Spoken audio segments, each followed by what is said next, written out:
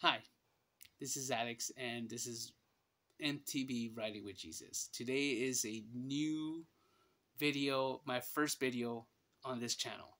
So I'm so excited. This is a particularly because of my sport. Because my sport, we think about going to the mountains, having a good time, and enjoying expressions, and you know, giving out praises to everyone. But I never, I never hear anybody um, talking about God bless you, bro, or um, may may God be with you, and I could relate let me pray to you. Let me pray for you. Let us pray. And I never see that in our bike mountain bike community. And I know it's a sport. And I know it's there are different backgrounds and different religions and they don't want to hear something like that. But I encourage you to do it. It's not it's not it's not being shameful or anything. It's it's our duty. Because we're disciples. We have to give the word to every creature. And um, I was truly enough um, happy that I shared this to a lot of people, even in the mountains. You know, after we we done our uh, little ride and we're kicking back, enjoying it, drinking our water, relaxing, and um, and it was it was great, you know. I left a seed on that person's, and um, I I hope that God grows the seed, and it's not a I just encourage people just just go ahead and and and and, and do it. It feels really good to to actually help or listen to their problems or what's going on in their head and you know what's clearing cuz our therapy is our mountain mountain bikes. That's our therapy. I understand that completely. But what's going to happen after it's gone? There's not going to be no way to stopping it. You're still going to have that problem.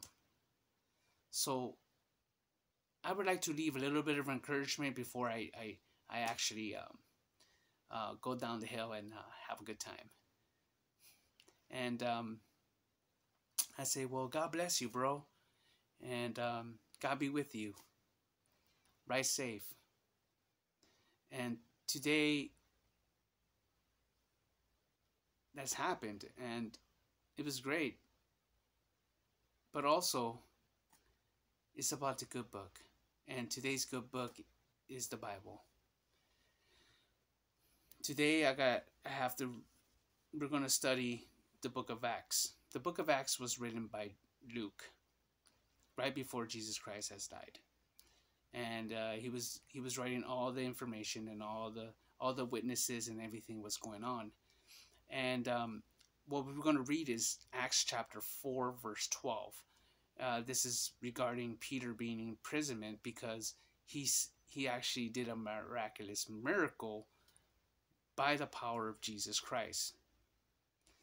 And um, he there was a lame man in the temple and he was he was named for 40 years. And this man was was given the gift to get up and walk by Peter by the by the Holy Spirit by Jesus Christ. And uh, he was walking and and um and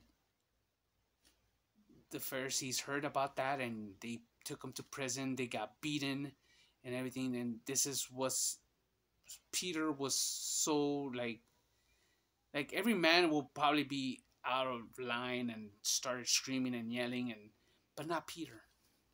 Peter what he did but so beautiful. And it reads, And there is salvation in no one else, for there is no other name under heaven given among men by which we must be saved in Jesus Christ. Your salvation is not mountain biking. Your salvation is not any other religion you chose to.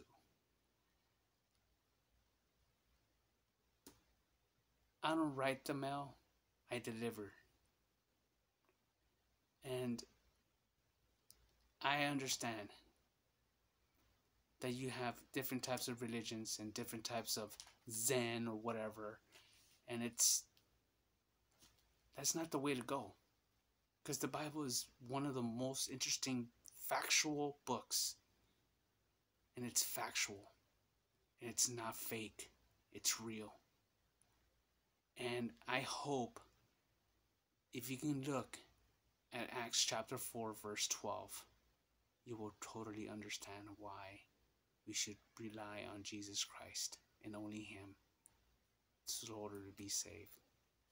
And I love you very much. Whoever's listening to it or whoever's watching this, I would like to give my love to all of you. And may the grace and mercy of our Lord Jesus Christ be with you. And I hope the next time I see you in the trails, I hope you're saved. Because if not, God will lead me to you. And I hope I put that seed. And God will grow it.